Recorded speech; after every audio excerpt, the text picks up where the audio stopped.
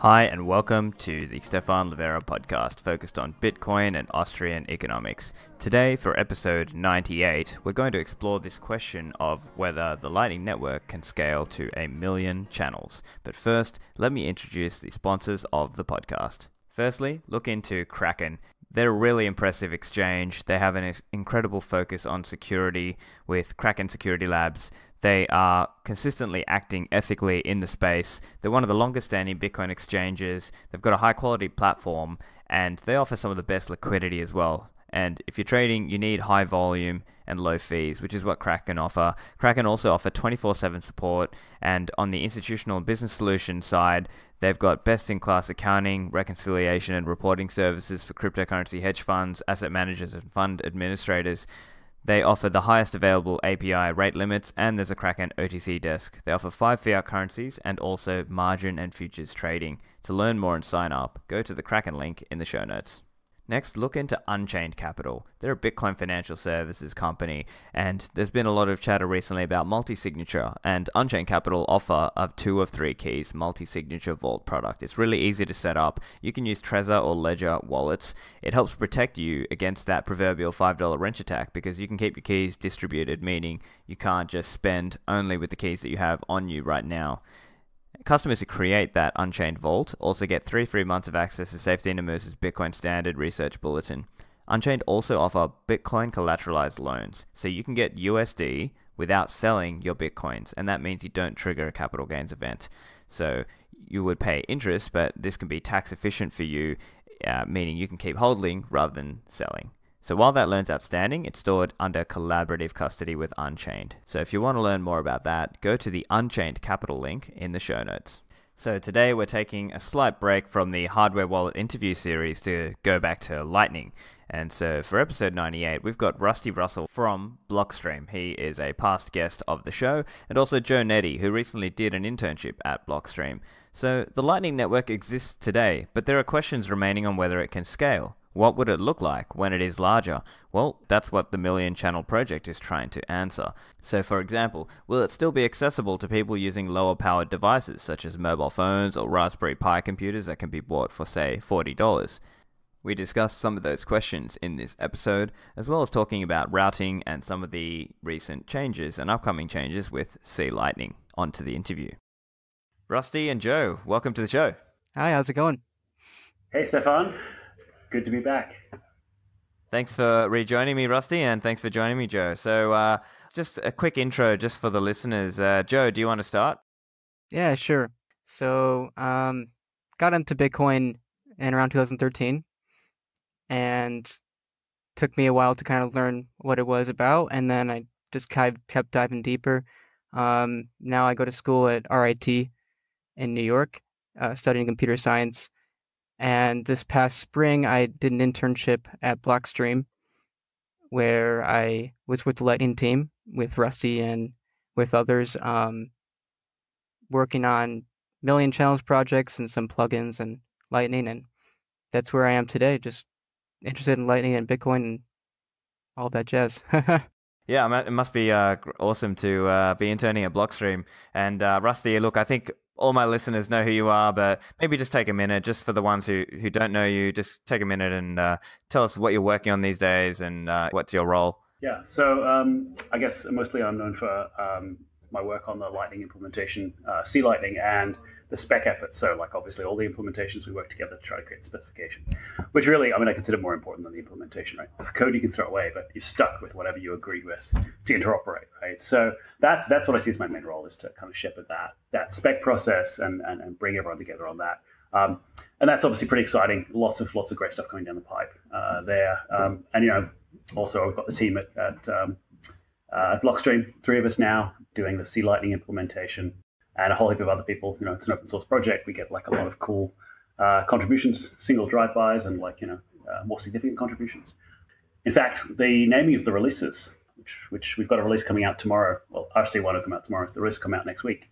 The release gets named by whoever's done the most contributions in the last cycle, right? Who hasn't already named it? So so yeah. Um, so it's always fun to see who's going to get to name the, the release. We have kind of these. We have a we have a, a theme yeah. for our release names uh, that uh, that's kind of an open secret among uh, among people who are who, who've named it already. So yeah, um, so yeah, my, my job's kind of shepherd those those two projects mainly, and, and just you know random things at Blockstream and, and everything else. So there's, there's always a whole heap of stuff going on. Um, the first time, the first uh, intern I have had was Joe actually, um, which has set me up. Uh, I think really well. Like my expectations are now pretty high for what what interns should do, right? Um, because Joe did amazing work on uh, the Million Channels project, but um, he also, you know, in his in his copious spare time uh, that that left him somehow, he also did uh, a great uh, GraphQL plugin stuff for us. That's it's really exciting. There'll be obviously uh, that you'll be hearing more about um, in the future as well. I expect. So, yeah, um, I guess that's that's me and that's us and that's sure. that's how things are working. Great, yeah, that's awesome. So, look, at the topic or our theme for today is the million, you know, channel experiment. So, let's start with a little bit of what what spurred this experiment. Cool. So this this the backstory sort of is um, you know we've seen this sort of explosive growth growth in the uh, uh, in the Lightning network. It kind of went from from like you know a dozen nodes in in, in sort of 2018 when it sort of started on on mainnet. And it kind of kept growing, and we'd seen some teething problems with you know scalability issues at a couple of points, and you know, there was always this idea what we should do is we should simulate, you know, kind of like an end game, like what, would it look like at a million channels, which is kind of a nominal you know, it sounded like a big number at the time. It's actually not such a big number now. We're, we're you know, I think we're we're around a twentieth of that now. So, but at the time, it was like, wow, I wonder hundred times bigger. What will things look like, right? Um, and so I had this idea. Um, never had time to implement it. Ended up putting out a blog post going, look, hey, it'd be really cool to do this million channels project where we simulate what the network might look like if we scaled it up and we had a million channels and however many nodes that is and everything else. And then we could basically simulate that and, and throw some existing software at it and watch it fall over and die. Um, and you know, and obviously find out that that way, you know, what what what was going to happen when we got that big, right? Um, because like a whole heap of implementations have been, there's been so much stuff to do, right? Uh, that optimizing uh, hasn't hasn't necessarily bubbled to the top, except as you know, as, as you need to put out fires, right? So to try to get ahead of that, the idea of the Million Channels project was to create this this kind of you know real stress test, uh, this this genuine thing. Um, and then when when Joe um, came along as an intern, he he was really excited about it, and so he went right, and, and he basically took that between his teeth and, and ran with it. Awesome. So Joe, let's hear from you a little bit. What was your experience like with setting up and you know taking uh, taking part in this? And uh, uh, as I understand, you took a snapshot of the current Lightning network and used that to help inform this project. Mm-hmm. Yeah, it was it's really cool. All right, so basically uh, it started as a very open-ended project. There's quite a lot we could have we could do.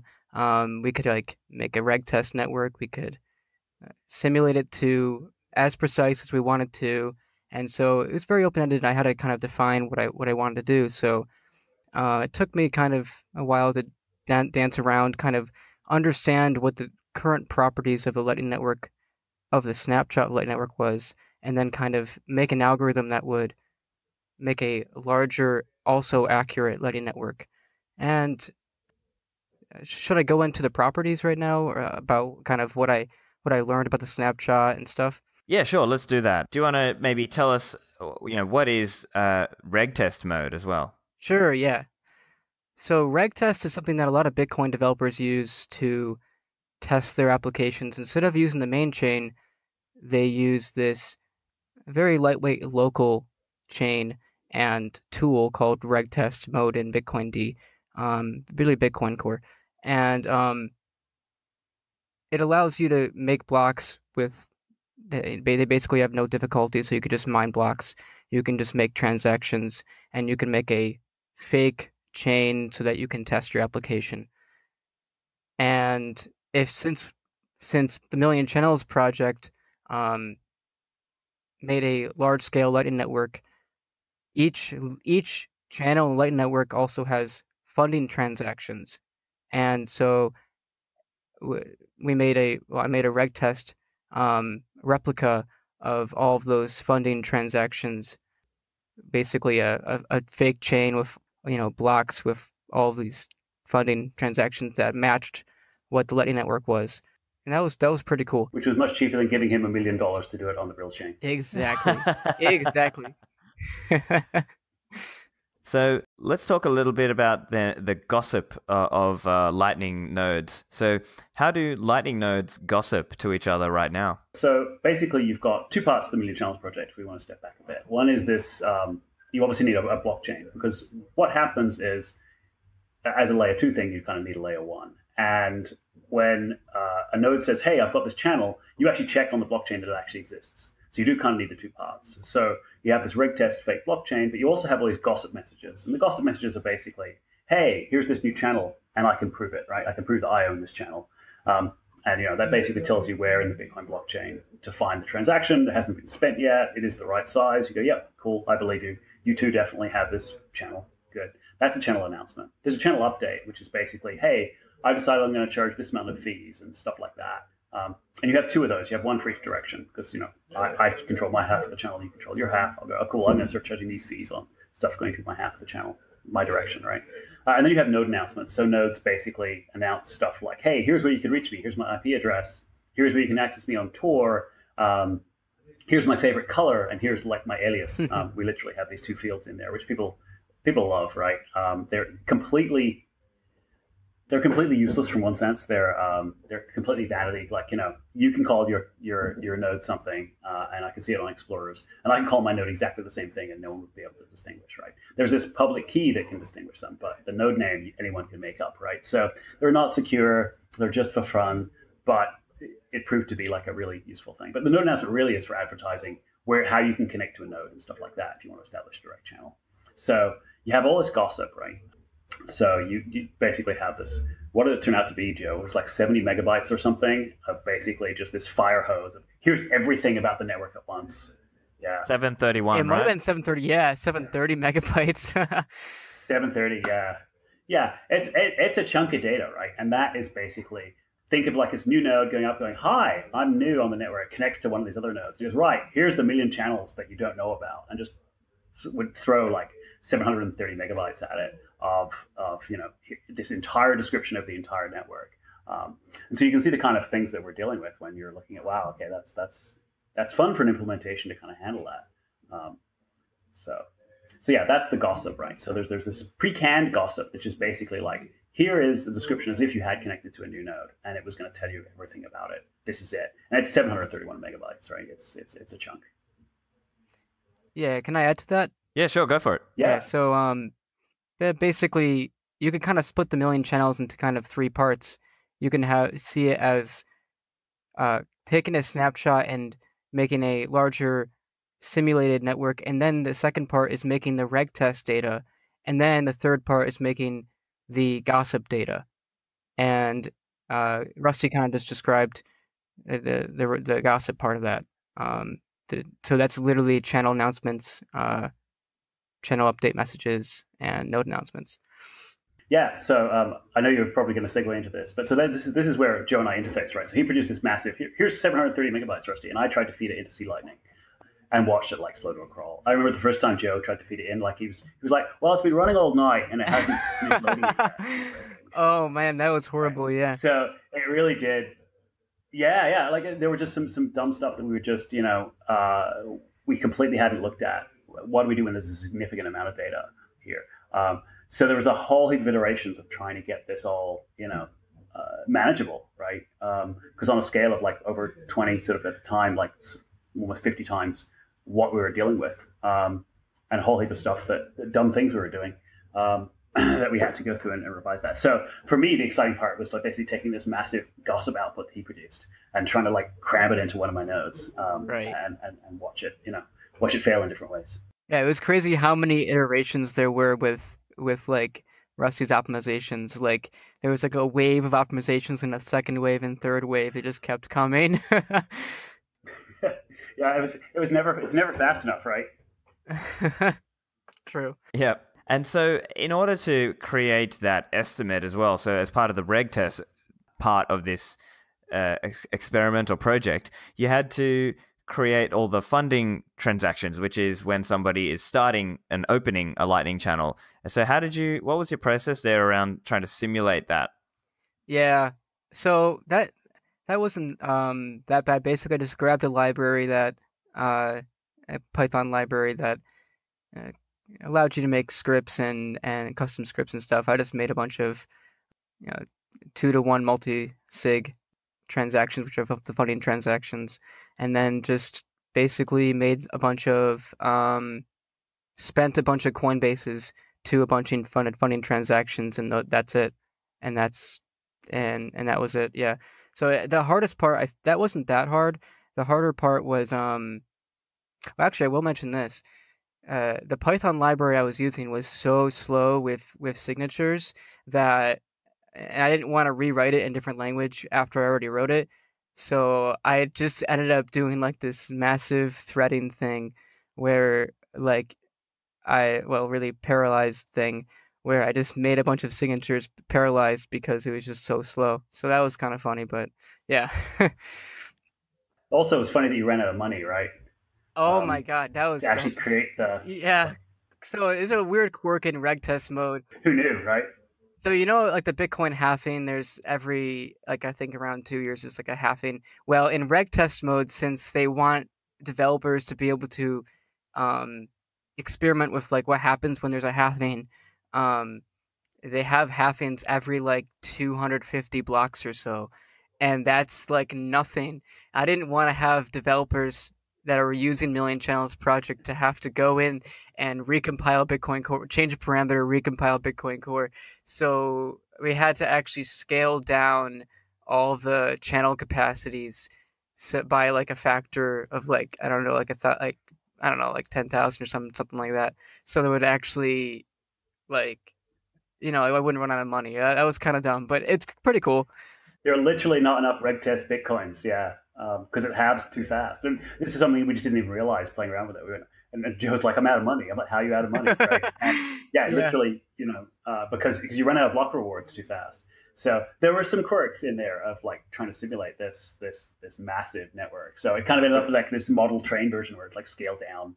Um, but yeah, it, it, doesn't. The math doesn't matter, right? Like who cares, right? Uh, one Bitcoin or point one Bitcoin is all the same. But um, it was yeah, just just an added kind of hurdle in there that, that Joe discovered.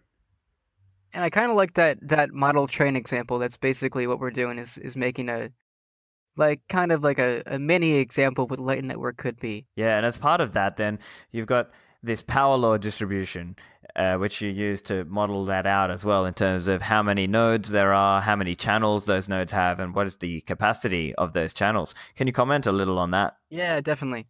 So uh, there was about four properties of the Lightning Network that I thought would last in the future, and that's kind of the that's kind of what we're doing. We're trying to predict what Lightning Network is going to be, uh, take away the properties that are are are kind of fundamental to how this network will work, and one of them um, is that there's a power law distribution, and a power law is basically like you can imagine like a hockey stick. Um, there's a power law distribution of the number of channels across nodes. So what I mean by that is around 20% of the nodes will have one channel only.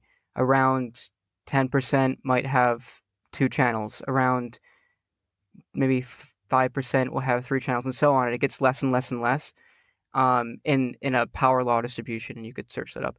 And um, that that's kind of cool. It shows that there might be there might be long-term hubs where there's a lo- there's a small amount of nodes that have like a lot of channels like maybe it could be like a thousand channels maybe and then most nodes only have one to five and so i try to get that into try to get that that property into the simulation and and on top of that there's there's a second property yeah, we're certainly to be fair we're, we're seeing that today right so we have, you know, we have a certain number of whales, we have a whole heap of minnows, we have like a whole heap of range in between. But you know, right. Um, that that is definitely the way the network, and, and, this is a lot of things, right? So so Joe kind of you know describes the power law. It, it describes a lot of natural networks that occur. You end up with a certain number of huge things and a small number of large things, and then like you know a whole heap of minnows.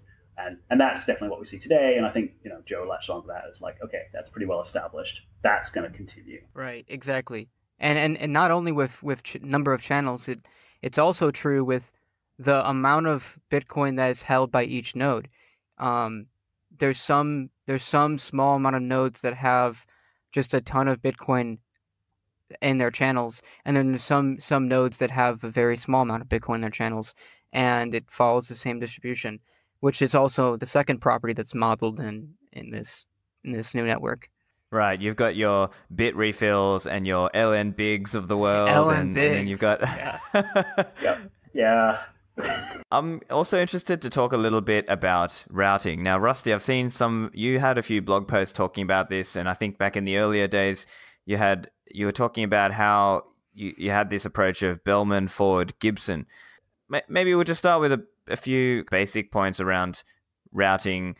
What are some of the things that we should think about there, and what were some of the decisions made around, you know, what algorithm to use? Cool. So yeah, um, well, first, first, so so when we look about routing uh, in the for privacy reasons, the, the sender decides where the route is, right? So we kind of look through and go, okay, um, uh, you decide how to get the, the payment to the recipient. Um, it's also because you're paying fees at each point, right? So you have to kind of know what fees you're going to have to pay. So you have to kind of preload that into your payment. Um, but also, uh, each, each layer basically unwraps it, and then oh, okay, so that's where it's going next. So so the the, the, hops on the path can only see where it's just came from, and where to send it to. Um, so that provides uh, anonymity for the you know um, for the sender, um, and it re- provides obfuscation for the receiver, right? Um, so the receiver doesn't know where the sender came from. The sender obviously knows where the receiver is it's sending them. Um, but uh, in order to make that work really well, you kind of have to have a fixed size thing that's going through. Obviously, if you, you, you, you decrypted it, took the head off, and like sent the rest of it along, it would get smaller. The message would get smaller as you went. Um, so if you did it naively, uh, and you'd kind of be able to look at the size and go, well, I reckon I'm like I reckon the next hop is the last one?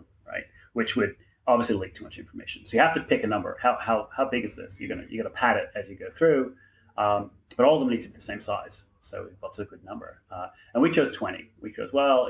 We've got like it costs us this much for each hop. We multiply it out. We want to be able to fit it in one TCP packet, 1300 bytes. Okay, let, us go for 20. Um, and even in, interestingly, even in the million channels project, this was not an issue, right? So even with a million channels, it, you know, you didn't need to use 20 hops. I don't think, Joe, did we actually measure the worst case width from like the, the furthest two points? Yeah, I don't think we did, but I I highly doubt it actually reached yeah 20. Yeah, we might have been able to find some perverse thing that maybe maybe got close, but uh, but generally no, you didn't need anything like this, and so that shows that that you know we that 20 was like way more than we probably needed. Um, interestingly, that we just merged uh, in the spec change a variable onion, so we've actually bumped that number up. Rather than each one being fixed, we now kind of go for a variable size chunk that you take. Um, so you still got the same total, but actually you can squeeze things a little bit more, and you could probably get to 24. The reason to do that was actually the reverse, that we wanted to cram more in information in for some hops. Uh, but as a side effect, we can actually probably get out to maybe 28, I think, is, is kind of the new reasonable. But we don't need it, right? Um, even even for the 10 million channels project, I think we're still going to be good for for 20 hops. So that's why we have that kind of limit there. Yeah, the part of the reason why I think we're also good is just uh, if we ha- if this power law thing continues, then there's going to be kind of these hubs, kind of. Ch- basically, uh, some nodes will have a lot of channels, and that'll help you know n- help us not reach this 20 whatever limit. Right. And so we've got this idea then that more hops can theoretically give you more privacy, but that's kind of additional packing of fake layers to, as you mentioned, the padding. Uh, and then if it's less hops, then theoretically it's cheaper, right? Because you're going less hops in the route. And Rusty, can you also chat about how I think in the earlier days there was that concept of potentially having negative cost uh, for rebalancing, and then that being removed from the spec? Yeah, so it didn't make it into the spec 1.1. There was originally this idea of, hey, you could offer people money to use your routes, right? So because um, and Andreas Antonopoulos had this really good uh, analogy of like a channel, like a like a PVC pipe with peanuts in it, right? And all the peanuts start down my end, and I send peanuts across to your end, right? Um, and this is I, I, like this because it, it just shows that whole channel balance problem, right? I mean, you know, if you don't have any peanuts in the pipe, you can't send any more to me. So you do want to kind of keep these channels balanced. Um, and there was this idea that, well, what I could do is I could provide negative fees, which is basically paying other people to balance the channel for me. Okay, well, you if you use this channel, uh, I will actually pay you to send some money through because I want you to balance. Um, and Christian Decker points out that that doesn't actually make sense because you could do that yourself by routing around in a circle um, and go, oh, well, I can push out through that node and around through that node and back to that node. And then I can push payments around uh, to rebalance my own channels. And if it's expensive for me to do that, um, so so if that that actually starts making sense, you go well, then other people will start routing through that way anyway. So it turns out there isn't actually a huge demand for for providing this kind of liquidity because you can do it yourself. Um, so uh, the other thing is that ideally, you know, you don't you don't kind of need negative. You just need to be cheaper than everyone else. Now, at the moment, we're, seeing like ridiculously cheap fees for routing on the Light network. It's probably not sustainable. I expect long term they will go up. Just simply, you know, you can't charge like a millionth plus like one satoshi uh, for for a payment. One millionth is just not enough to kind of keep the lights on. Uh, so I expect those numbers to kind of creep up. You know, people want to want reliable nodes. They want them to be on all the time. They want them to have high availability, lots of capacity. That that number is going to have to increase. And once that has increased, then you don't need to go negative. You just go, well, I'm just going to go really cheap, and people will start, you know, funding through this. Um, so, uh, but also from a technical perspective, it turns out a number of, of algorithms break down if you have negative fees, right? Um, you end up your algorithms really want to start routing use your 20 hops to go around in a circle as many times as you can to go through that like negative fee one to collect as much money as you can. You end up with these really weird situations where the ideal is, is, is strange. So, so negative fees actually just from a computer science point of view becomes difficult. Um, so, so we kind of that, that, didn't make it into the spec. There wasn't enough conviction that it, it, needed to go in, and I doubt at this stage it's going to. Um, of course, you know, you could always implement negative fees on top. Like I promised that if you try to use it. So, so what happens is when you actually send a payment, you say, here's the fee I'm prepared to pay. Uh, now, normally that would match what they advertise, right? They'd be like, well, yeah, I said you had to pay, you know, 0.1% plus 10 Satoshis, and that's what you've done. Um, if you don't, though, they can choose to accept it anyway. Uh, they go, oh, you're, you're overpaying me on fees, but that's cool. I'm happy with that. Or you're paying less. So you could have some external thing where you, someone advertises, hey, you know, they tweet out, hey, if you route through here, I will accept negative fees. I will actually pay you to do this. Um, and if that becomes popular, then we put it, we'll, we'll, you know, we'll make it a mainstream thing. Right? We'll put it in the gossip algorithm and make it all work. But uh, we haven't seen a huge demand for that at the moment. Great. Uh, Joe, did you want to comment a little bit around the differences that you see between the Bellman Ford Gibson versus the Dijkstra algorithm? Mm, I don't have too much to add to that. Okay, sure. Uh, Rusty, did you want to comment a little on that as well? Yeah. Okay. So so we went for this this, this superb, uh, elegant, uh, you know, uh, uh, algorithm that basically will give you the best, the cheapest route for every possible distance. So because you've got this this hard limit, like you know, it doesn't matter how cheap a route is, it takes you 21 hops to get there. And as I said, normally we don't hit that, but it's quite possible that somebody could deliberately force you into that by creating this long chain of, of nodes that just designed to mess with your implementation that, that makes uh, that long, they'll create like a long line of channels that goes like just this whole loop that's like 20 long that, that's free right? Your you know the computer science like your uh, your dumb routing algorithm is just going to fall down that hole all the time and they're going to keep trying to like route through that and they go oh but wait oh, it's the cheapest but it's not it's not i can't use it because it's now it's 21 hops right? So you do have to be robust against that kind of adversarial behavior even though it like quote never happens um, so Bellman Ford Gibson is incredibly, uh, you know, elegant and, and will, will give you the best answer for every possible distance, right? Like for zero to 20, it'll say, here's, you know, it's not possible to get there in less than five hops. And here's, and you look at them, you go, cool. So we do it in seven hops and that's cheapest because it goes this path. Great. That gives you the answer all at once. But it's, it's relatively slow. Um, and the Million Channels project, it really started to, to bite us. We sort of went, actually, that's, that's starting to hurt. Um, you know, so okay, so we have to do something less than perfect. And you have a lot of wiggle room here because basically fees are so so low that you know you don't actually need the cheapest path, right? You need something, you know, something competitive. But if you're paying an extra like 10, 10 millisatoshis, nobody cares. They really don't care, right? Um, you know, to remember, like if, if Bitcoin hits a million dollars, then one satoshi is one cent. So at that point, when Bitcoin is like totally mooned, um, and a satoshi's worth a cent. A millisatoshi is still like a fraction of a cent, right? Nobody cares, right?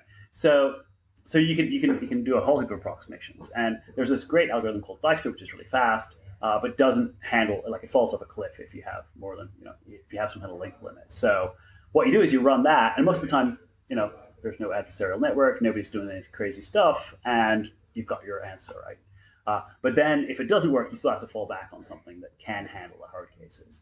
Um, and that basically uh, cut through a lot of the stuff that we were doing and meant that, you know, we had a much faster, you know, competitive uh, routing algorithm. So, you know, and there's more room to, to go there, right? Dijkstra is completely generic. Most of the time you're asking the same question, which is how do I get from my node somewhere else, right? You're asking the same question over and over again. Um, so you can cache a whole heap of stuff. We could, we could get smarter. Um, there's already been some talk of, you know, how do how do we handle you know um, really massive kind of um, uh, uh, massive rates of queries, right? So I, I did a, a, measurement recently on the current one um, on my Raspberry Pi.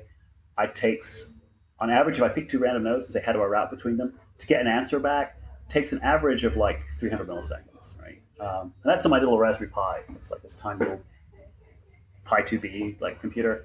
Uh, that's the previous generation of Raspberry Pi. So I run that just so that I can do these kind of tests, right? Now, a third of a second is not fast, but it's not slow either, right? That's acceptable on your mobile phone, right? So you're on your cell phone, you hit route, it takes a third of a second to figure it out. Um, okay, that's that's okay. But you know, we can definitely get more aggressive, and we can do even more stuff on top of that. And as we talk of, you know, um, what do we do? Because what happens if that first route fails? You have to find another one, okay, that goes around that bit. Um, and yeah, so so there's you know, hey, we could we could do a whole episode on the fun of routing algorithms, but um, but basically, yeah, uh, th- this was one of the great outcomes of this project. So yeah, this really is going to be a problem here. Um, we really can do better, um, and there was no immediate incentive to do it today. But I kind of, you know, Joe threw the stuff at me, and I'm like, oh, we've got to, you know, we've got to get better than this, right?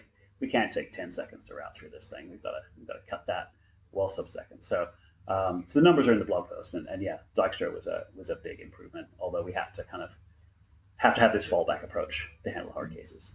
Right, and as I understand, with the routing algorithm using Dijkstra, is that something at a specification level, or is that more of a C Lightning level?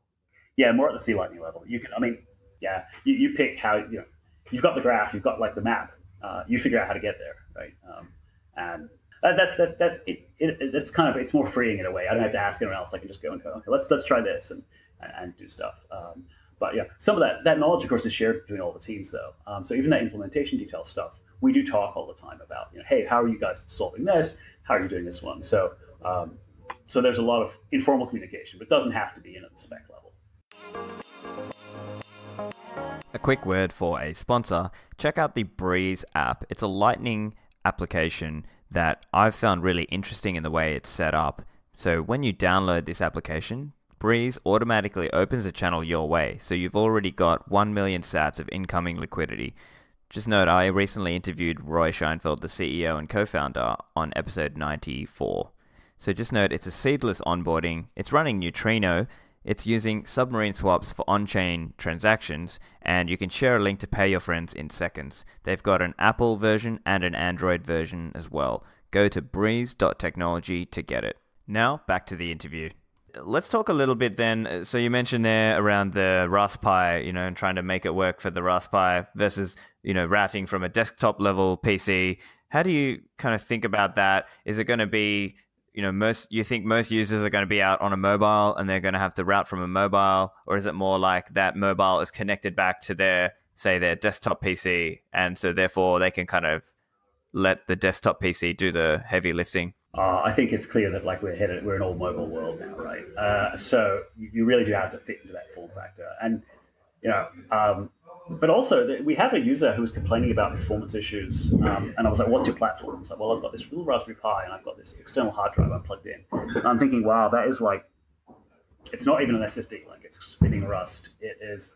Uh, and the Raspberry Pi has this really crappy USB port, at least the, the, the, to the three they do. So, um, yeah, it's like, wow, okay, so that's that's about as slow as you can get. So I went out and got one uh, and installed C Lightning on it because you know, if we've got users who are running this, I want to make sure that it's it's usable, right? So um, you can actually look it up on Explorers. Raspberry Pi is the my little Raspberry Pi here. Uh, it has one channel open at the moment, um, and uh, so so this this was exactly what uh, what was kind of the point, right?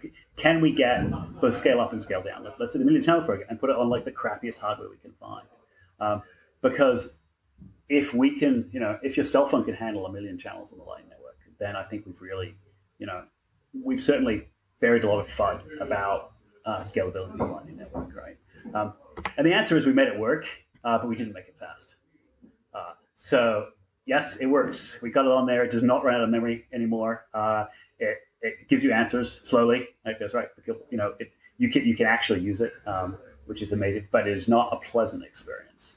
Um, so there's like another level there, right? And the other level is like, do we do those optimization? But then you know, Joe comes along and goes, "Oh, cool! Here's the 10 million channels project, or like the million nodes project, or something," and pushes the envelope again. And so we do all this optimization. We end up still as slow as we are, just doing 10 times as much work. Um, or do we kind of go, no, a million channels project is where it's at, and we'll keep working on that, and we optimize it to the point where your cell phone will handle it comfortably. Um, I don't know. There's there's like you know optimization is kind of this thing you can kind of keep refining and speeding up, and you can keep doing that pretty much forever. So at some point, you've got to actually ship. Uh, so we got to work. Uh, we got it, you know, reasonably happy. Um, uh, and we went right. We're, we're done. Here, here are the numbers. Right, they're not pretty. It does work. It's not fast, um, but it was important to us that, that we made some inroads on there uh, because I think that's you know uh, we are we are headed into a totally mobile world, and we're going to need to do that. Now, this is, of course, a full Lightning node, right? It's not clear that you're Lightning, you know, as you kind of uh, mentioned, maybe you're connecting back to a, to a full node somewhere. You're not doing all the work on your, your cell phone. And I think that is uh, probably more realistic. But, you know, it's certainly, hey, we're geeks, right? This is kind of fun to go, can we do this? And the answer was yes, we can there are also some of these other ideas being thrown around on the you know on the lightning dev mailing list and other potential routing schemes. Did you want to touch on some of those? What are they? And you know what are your thoughts on those? So i've seen here ant routing um, and, some of the others. Did you want to touch on those? Yeah this is still very experimental. Uh, but basically uh, the idea is like for example these beacons for example. What if what if we could make a routing scheme where instead of needing the entire network graph because that's you know that could be a lot of data we saw that with with a million channels that could be like 700 megabytes of data. Instead of doing that um, what if you just have a uh, the part of the network that allows you to reach these beacons? And then if the person that you're trying to send money to can also reach a beacon then you could pretty much like basically a, a node that you can both reach then you can kind of do this routing between them. And that's that's a possibility. Um, and there's other possibilities too, like and then there's also like BGP, which is like the internet protocol. I don't think that would ever work because, but there's approaches like with BGP maybe that are ideas of how routing could work, but I don't think they could work with Lightning Network because it just changes too fast. You know, you can't store a routing table of all these routes if the network is changing so fast that all these update messages would have to be passed around the network. It just wouldn't make any sense. Um, and there's privacy concerns with BGP, and that kind of leads to like ant routing. What if you just kind of um, send these encrypted blobs and kind of, and that's kind of confusing. It's very experimental, but it's basically like adding these extra data bits that kind of allows you to find a route in real time by these kind of encrypted blobs being traversed around the network. It's kind of cool, but I, it's very again experimental. Yeah, I think Joe covered that pretty well. There's, there's yeah, there's a um, there, there, are a subset of schemes where you're like, well, what if we don't have to have the whole thing? What if we can, what if we can have some subset of knowledge, or you can find out? Now, you, the problem is with subset, you're going to be less efficient, but maybe that's okay. Who's in the subset? Who's in the magic group of beacons? Who becomes a beacon? Who, who are these landmarks that everyone uses? Because they're going to get like more payments than people, not landmarks. So you end up with this fairness issue as well. Um, you know, how do you select them? Stuff like that. Uh, and there are some, there are potentially some ways around that, but um, you know, other, other schemes where you kind of ask for directions. Um, and then you immediately hit privacy problems, right? You kind of go, oh, how do I get it? How do I get a payment to Joe of, of like, you know, of 0.013 Bitcoin? Like, what's the cheapest way? Oh, no reason. I'm just, you know, just, just asking for friend, you know, it, it's, it, you know, you're obviously leaking some data there. Um, so, you know, uh, there's some things where you can combine these approaches and stuff, but, you know, um, what we're doing is like the naivest. You know everything on the network. You've got the entire map go find a route, right? Uh, but these schemes are much more like, okay, so so if, if we fall off the edge of the cliff there, we go, no, no, 10 million channels, way too many. You can't do that on your cell phone. what's our fallback, and and so there's a whole lot of research on on what cool things we can do uh, with that, which I think is interesting. Um, you know, and you also you look at it, you know, cool. Even, even if you could handle it all, uh, you know, the one gig download to to get the map on your phone is is pretty significant, right? That's that's a big ask. Now we can squeeze that data down somewhat. Um, Taproot and Schnorr actually help us a little bit. We can we can do some pretty cool stuff, um, but you know it'll still be that order of magnitude, right? So it'll be more than 100 meg uh, of data to pull down to know the entire thing. So then you're like, well, okay, maybe that's the issue. Maybe it's not that you can't compute it on your cell phone. Maybe you just don't want to, you know, swallow that fire hose when you start up. So, so yeah, there, there are definitely alternate approaches to how you can do things uh, with routing. And yeah, it's, it's an area of action. It's, it's, it is a fun area. And to add real quick, like you could even have approaches where there's a Lightning app, and instead of finding the route yourself, you you kind of query some centralized server that that has the whole map and then they and they find it and tell you what route to take. But then there's there's privacy concerns with that and you don't know if they're you don't really know if they're including their own nodes in your route to make more money and stuff like that so. They could opportunistically try and r- route it through their own right. their mates channels kind of thing. Yeah. That's right. Yeah. Wow you go wow that's expensive. What a surprise. Yeah. again so, Joe, I think you were also interested to talk about this idea of um, will Lightning routing inevitably become hub and spoke? Right. Yeah, I mean, it it might already be slowly becoming hub and spoke, um, but I think that really depends on on what we choose the kind of the routing protocol to be in the future, and yeah, yeah, it's a it's really dependent on on where we move forward. So. Um, but I mean, we can see it already a little bit with, you know, where's the money at? Well, it's kind of this this hockey stick, and and and also like how many channels do, um, like here's an example. This is another property of of of the of that I found in the snapshot of the network. Um, if you look at how do I explain this? Okay, so if you rank nodes, if, if you rank channels of a node from greatest capacity to least, you see a uh, pretty much a positive relationship between the capacity of that channel and the capacity and the total capacity of all the channels of the node that, that that's connected to. So essentially, that means is that when people uh, when people are and, and, this is this is minus that channel's capacity. So, so basically, but then what this means is that when people are people are connecting to nodes with a lot of capacity, that's all it means. Uh, they put more money into nodes that have more capacity, and they put and and that kind of shows that people are kind of doing this hub thing already. Um, so I, I don't know. It, it, there's a there's a lot of question marks, but yeah. Yeah. So interestingly, like if you try to connect to Bitrefill, which is one of the big, I mean, they're a vendor, they're in, in Network early. As a result, naturally, they've become this kind of hub, right? Um, but uh, they on on mainnet, they're they, they won't even talk to you unless you've got like point um, 0.16 Bitcoin, I think it is. Like you need to actually open a big channel with them, otherwise they won't even let you open one.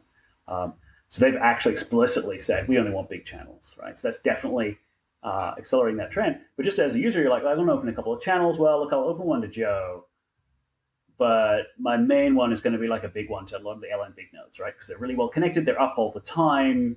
You know, Joe's kind of flaky. He, he likes to sleep uh, and stuff like that. You know, uh, he turns his phone off sometimes. Yes, I love to know. sleep. So you know, uh, yeah. So so that this happens, right? So so people will naturally kind of bias towards that. Now there are a couple of things that are fighting against that. Um, we're, we're, we're pushing back with, um, uh, particularly with AMP, interestingly. So this idea that at the moment, to, to send a big payment, you need to send it down a single channel, right? You, payments are like, you know, these, these, monolithic blobs.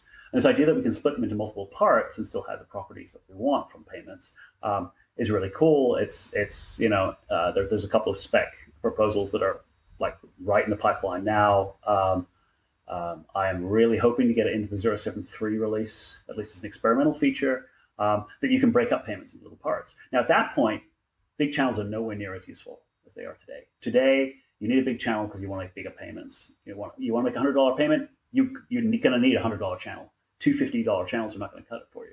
With AMP, not a problem. You can split it, right? So it, it reduces some of that pressure to make really big channels with big players. Um, and that allows the network to, to diversify a bit more. So that's that's kind of useful as well, I think.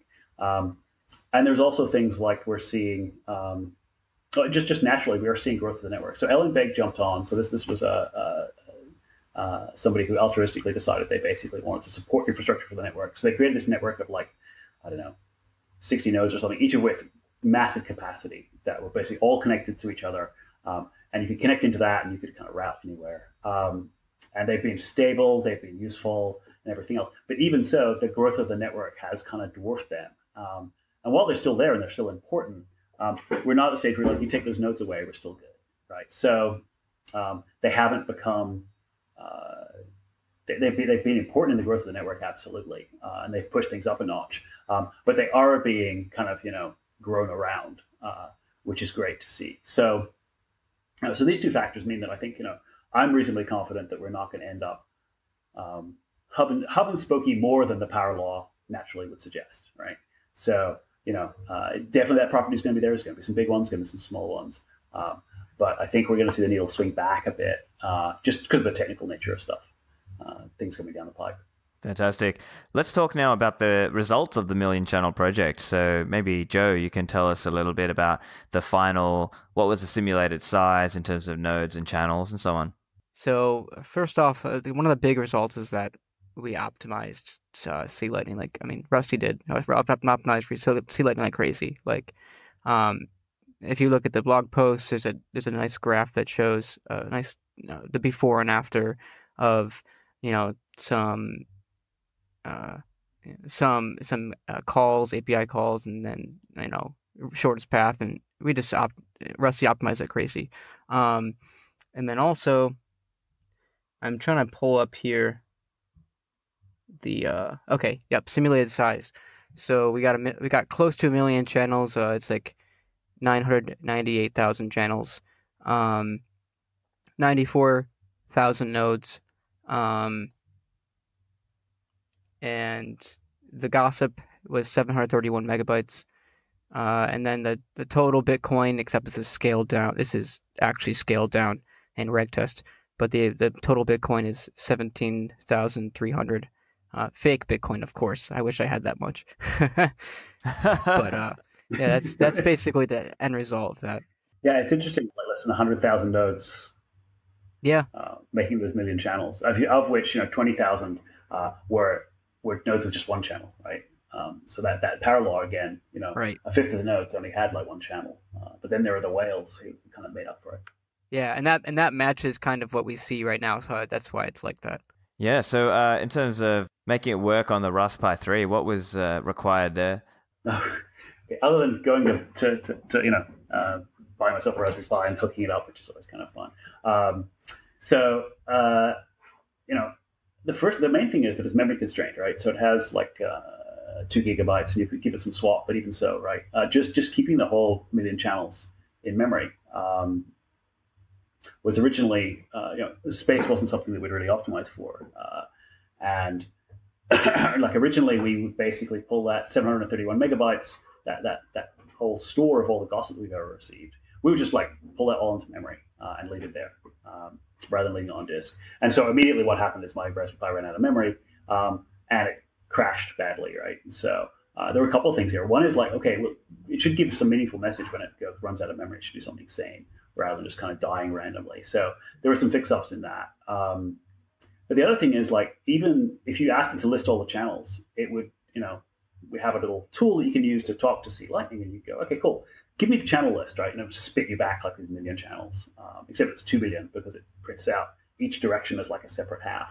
So there's massive fire hose. Um, and then that tool would crash, right? Because it, it would try to load up, it would basically take the response, try to format it all for you, but it couldn't even fit in memory, right? So all these things are kind of making it more graceful with, with handling these kind of things that, that we'd never hit in real life yet. Uh, but inevitably we will. Um, so, you know, a lot of it was just shrinking things down to fit inside the Raspberry Pi. Uh, we've done a lot of optimization already, but, you know, my laptop has like 8 gig of RAM. Um, it had no problems. Uh, you, you, shrink down to these little machines and you go, okay, well, we're going to have to actually squeeze things here as well. So there's like another, so another round of optimization just to get it to run at all uh, in that environment. So yeah, um, a lot of cool stuff came out of that. Um, we we now keep the gossip on disk and we just basically hand around here's here's where it is. You can go get it yourself. Um, we used to have this gossip daemon that, that took care of all the gossip, um, and so when someone connected in and they wanted to know something, the, the little daemon that was talking to them would talk to the gossip daemon, go, cool, here's what they want to know. And it would shuffle this data back and forth. Um, and we went, well, actually, now we're putting it all on disk. Let's have the daemon just look at the disk itself, grab out the file, and just start spreading it out. Um, and that's actually a huge win itself, both because now we don't have all this memory, you know, no one's loading up and keeping it in memory, but also just, just the speed and scalability that we can do with that is actually pretty nice. So, so that work went in. Um, and while it, it, makes it you know work on the Raspberry Pi, it, it lifted everything across the board, right? Um, it, it, makes it faster on, on my example nodes and stuff like that. So, um, and the other thing that C Lightning does really badly um, is that it's really chatty. Um, it used to be up until the latest release. Every time we connected someone, I said, "Cool, give us all the gossip, tell us everything." Right? You know, it works. Uh, you, you never miss anything. Everybody, you know, but basically you ask for this fire hose every time. And so when your node restarts and you've got like a hundred channels, you connect to all of them and you go, tell me everything you know. And it would, you know, uh, there would be a lot of stress at that point on this, this, you know, this central daemon to just kind of like to digest all this stuff. Uh, and God forbid you were talking to another C Lightning node because it would also ask you, "Hey, you can you tell me everything you know?" And we would then just like feed it everything, right? Um, so the last release, we got a little bit smarter with that. Um, you know, obviously, if, if, if, we're up to date within the last 24 hours, we go, cool, just give us the last 24 hours. Um, and we ask that for only a handful of nodes, like we'll ask for eight. And beyond that, we just go, look, don't don't worry at all. Um, uh, so we have kind of this this high, medium, low. Actually, sorry, it's it's three three nodes we ask for it. Cool. You, you give me everything the last 24 hours. And we go, cool. You just give me everything from now. And if we've got more than eight, we, with the rest of them, we just don't tell me any gossip, right? I've got enough gossip. And if we detect something weird, we go, hold on, we didn't know about that channel and we should have. Then we go back and we pick someone at random. We go, cool, can you tell me everything? Um, and we go back and grab the log. But that's that's just way friendlier on the network as a whole. Um, but I didn't want to do that before I did the million channels optimization because the fact that we were so dumb about it stressed this stuff really nicely, right? Um, I wanted to make it fast, make it work. Uh, we actually uncovered a bug in LND's implementation because um, my node was so slow because uh, I run it with a whole bit of extra debugging checks, that um, when we asked them to connect a channel, but we are also asking for all the gossip, we didn't get their message, their reply, through all the gossip that they were sending us until it was too late. It would time out on this.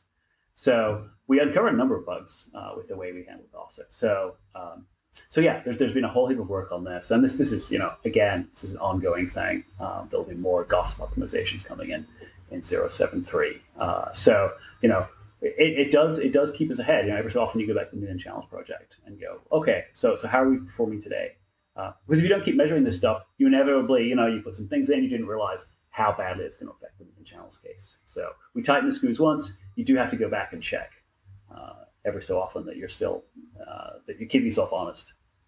Excellent. Uh, let's talk a bit about ideas for future work. Maybe Joe, did you want to touch on if there's any ideas on what could be a good project or good ideas to look at for next time. Yeah.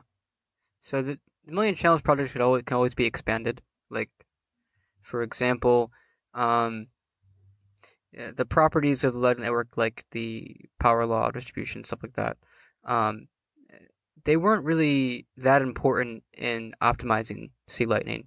They weren't really that used that much, but they would be important if we were testing different routing protocols. So there could be a, a, way to use the Million Channels project to see if you know compare different routing protocols and, and see which one fares better. And then it's really important if we have uh, kind of an accurate topology and an accurate uh, channel capacities. So that's interesting. Okay. Um, yeah. So I, am interested to see how how well it tracks. Like you know, as we do get to a million channels, right? How accurate was this simulation? I mean, we obviously took we extrapolated, right? Right, um, exactly. Um, yeah. There'll probably be changes. It'll be really interesting to see the real million channels project, like when, when the Light Network really is a million channels, like how close did we get, right? Yeah, that'd be really cool too.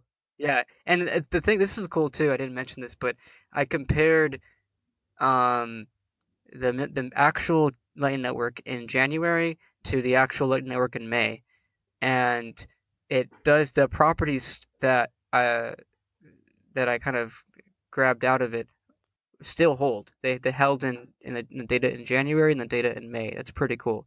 And so maybe they'll keep holding. I don't I don't know.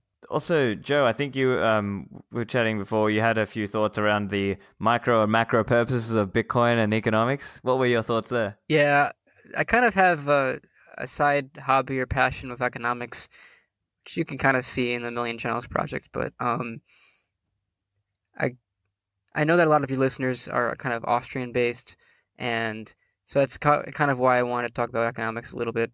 Um, so I, I kind of split economics into uh, macro and micro, like most economists do, but I define it a little bit differently, and I view micro, the purpose of micro, as uh, guiding rational action towards some goal for individuals and for companies.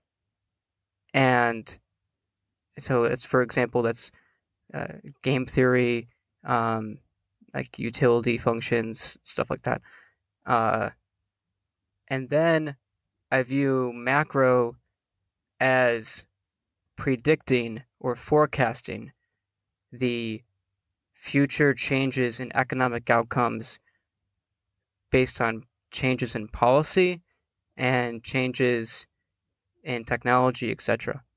Um, and so that includes econometrics, that includes, um, I would even say, a little bit of behavioral econ, because you got to know how people are actually going to uh, react to a certain policy in the real world of biases and stuff. And so uh, I kind of, and this is kind of a recent, uh, a recent discovery. Like basically, Micro is for guiding guiding individual action. Macro is for forecasting, and I think that's pretty cool. Right. Okay. Yeah. So I mean, for me, it's um, I, yeah, I, I think it's. I guess comparing against like an Austrian framework, it's kind of like we're thinking more about the decisions that are made by individuals, and then in a macro sense, it's like what are the impacts that that has at this if you're considering what all these different individuals are doing, what's the impact that that does, you know, to the broader uh, world and the broader economy? Exactly. Um, right. But uh, yeah, thanks for sharing that, Rusty. I'd be also interested just to discuss if you've got anything you wanted to share around what's coming with C Lightning and the new version. Oh yeah, so um, always always heaps of stuff. So what, what's um, there's inevitable sort of bug fixes and, and, and optimizations and stuff. We've had a lot of excitement around plugins. So the idea with with C Lightning is basically uh, we wanted to build like this base. Uh, we wanted to build uh, a really solid implementation that, that, that, does all the things you expect from a node, uh, particularly aiming at the server side, right? So that's that's my background. That's kind of Blockstream's interest. Um, you know, uh, you want to set up a, a, a, store that accepts Lightning. Okay, so let's let's that this is the kind of infrastructure you want. Um, but there's a whole lot of really cool stuff we want to build on top, and we kind of went well the, these ideas started coming out that people want to do, and we're like, oh, we really don't want that in our code base because it's kind of boutique to these people. It's really cool. We're not showing people use it. We have to support it and everything else. So we ended up coming with this plugin idea where basically people write plugins the same way they write plugins for like web browsers and stuff to do ad blocking or you know turn the screen upside down and stuff. So um, C Lightning has been really aggressive, kind of doing a lot of infrastructure work to grow that plugin infrastructure um, so that plugins can do more and more invasive and, and, and and interesting stuff. Um, so with each release, we see we see uh, more capability built for plugins, and the plugins themselves lag a bit because someone actually has to then go and use them. So we've got a database hook that went in the last release, uh, which means that you can do like live backups. So if you want to do multi-site backups for your C Lightning node, which is you know uh, which is important because um, obviously there's real money involved, and you want to kind of you know backups are important. Um, don't be like me, uh, back up your stuff.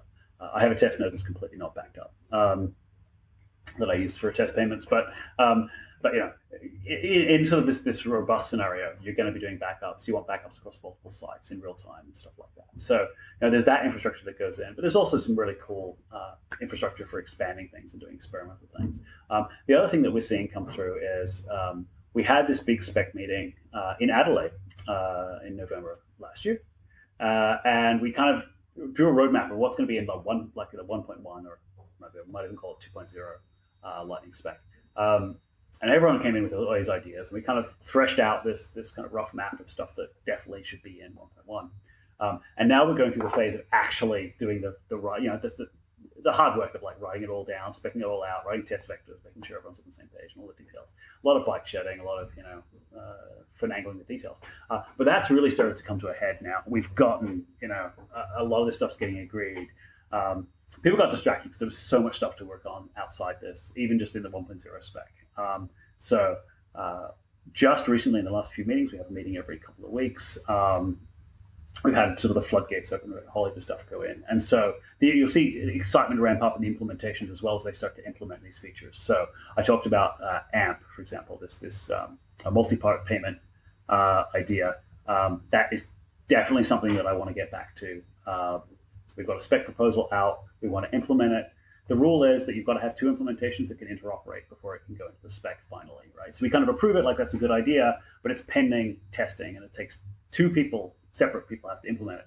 Make sure they work together, and then we can like go cool. Uh, and that's saved us a number of times, just because you know you, you got to implement it. You go, wow, if we done if we chose this way instead of that way, it would have been so much easier. So, you know, uh, so that's the way things go forward, and we're going to see that uh, in, in the implementations in the next few months uh, as we ramp up. Uh, we also have the Lightning conference. So there's um, this this conference. It's really a, a, Lightning developer conference. So previously we've had these summits, which are about developing the Lightning spec, right? The protocol, and you know, we get into like deep in the weeds of kind of you know, actually how Lightning implementations work. So people who write Lightning implementations are there. The Lightning conference is more like people using Lightning, like developers one layer up who are using Lightning to build their stuff and, and do cool things on top of it. And there's a great community uh, of Lightning makers out there. Um, and there have been some like meetups and everything, and we thought it's time to take it to the next level. So uh, all the teams are basically going to be in Berlin uh, at the Lightning Conference, thelightningconference.com. Um, and you know uh, that that's I'm really excited about that because that's always fun, right? You meet a lot of people doing really interesting things with with Lightning, um, but also all the devs are going to be there. It's going to be like an ad hoc spec meeting. We're going to like thrash out all of this stuff. So um, so yeah, and, Berlin's always always a fun city. So um, so that's coming up as well. Um, and inevitably that will change. Like it will be before and after that meeting um, there'll probably be some stuff come out of that that will completely change our priorities, right? People might say, "Wow, this is really important," and we're like, "We didn't even think of that." Um, that happens always when we talk to users about their pain points and things. So I'm really looking forward to that experience, um, and that's definitely going to accelerate things. Just generally, this whole ecosystem is kind of snowballing. Like it's so on the one hand, it's frustratingly slow. On the other hand, it's it's day to day. It is really exciting because stuff happens all the time. Um, but when you think about it, we're, we're basically trying to build a whole new industry here, right? There's there's no micropayment industry because there are no micropayments in the world. Um, we don't have the ability to send one cent around the world until Lightning. So we've kind of built this thing, and it takes time for people to kind of, you know, maybe there was someone out there who had this fantastic idea five years ago, but they couldn't do it because they couldn't send one cent. It just, you know, it, it didn't make sense. They, they discarded it, right? Um, it takes time for those ideas to kind of converge and to get those ideas to go, hey, cool, we can actually do this now. We've got the capability. We've got this instantly, instantly settled uh, transfer of, of, of, value of small amounts um, really cheaply. What can we do with that now? Um, and this industry will take, you know, I mean, this is a long process to build a whole new industry around this, um, but it's definitely happening. And you know, that's that's exciting to me, and that's that is definitely going to continue. And I expect we'll see this kind of like um, you know, this slow, steady technical growth, but then at some point it kind of kicks upwards as as there's some ridiculous killer app. There's probably something that you know, Stephan and I will sit here and go, "That is the stupidest idea ever," right? But it'll be amazingly successful, and you know, they'll be flying their corporate jets and stuff. And, Hashtag you know, crypto kitties. Yeah, right. You know, it will be something uh, something that kids are into these days, and we'll be sitting there going, "No, that's just the dumbest thing I've ever heard." right? So um, there, will be something. There will be some killer app at some point, um, and you know, in retrospect, it'll be obvious. But from this this point of view, it's totally not. Um, and I'm, I'm definitely looking forward to seeing that happening. But you know, you can't control the timeline on these things. You've got to have the infrastructure ready. You've got to have all the capability. You've got to have the experience. People are kind of getting accustomed to how these things work and building all these you know examples and, and doing some real stuff on it. Um, and that infrastructure is basically uh, is required before you can have that amazing growth. uh, on top of it. So we're still in that early infrastructure days. Um, and while it's exciting for those inside of it, it hasn't really got outside that bubble, um, even though the bubble's growing. At some point, I expect it will explode on the world stage, and suddenly people will be like, "Wow!" And I'll be like, "I've been working on this stuff for years now." they're like, "No, it was it, it's only been invented like two weeks ago." And like, "No, actually, it's we, we were working on this for a while." So, so that's that's definitely something to look forward to if you look further. Uh, but making solid predictions about it is impossible. Yeah, look, that's great. I think um, that's pretty much all I was keen to uh, going to touch on for this episode. So. Uh, thank you both for joining me. And uh, look, before we let you go, uh, let's uh, hear from both of you on where the listeners can find you and follow your work. So, uh, Joe, let's start with you. Where can the listeners find you? Sure. I'm on Twitter with Joe Netti, J O E N E T T I. Also on GitHub, uh, NettiJoe96, and that's it. That's about it. Great. And uh, Rusty, for you? Yeah, so Rusty Russell on GitHub and um, Rusty underscore Twit on Twitter. Um, uh, you know, but Google will find me as well. So it's it's it's pretty easy. Um, always like hearing from people too. So reach out. Fantastic, and I'll obviously put the link to the Million Channel blog post as well for the, in the show notes. So, look, Rusty and Joe, thank you both for joining me today. Thank you for having me on. Thanks, Stephan. So, if you guys found that interesting and you're interested in more detail, you can see the Million Channels project blog post and GitHub links in the show notes. Check out the show notes on my website, stephanlivera.com. Any feedback for me, uh, find me on Twitter at Stephan or email me, stephanlivera at pm.me. As usual, I appreciate any ratings and reviews for the podcast. That really helps new people find me. That's it from me. Thanks, guys, and I will see you in the Citadels.